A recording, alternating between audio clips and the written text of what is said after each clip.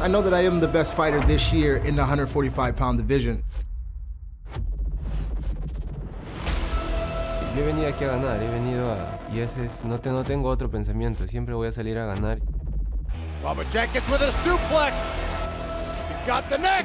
Now this has been Got a him big tight. improvement in his game. He's got Oh, it. He's putting him Joseph asleep. in his Oh, Bubba Jenkins with a quick six. Everybody who thinks they can beat me is on notice. Oh,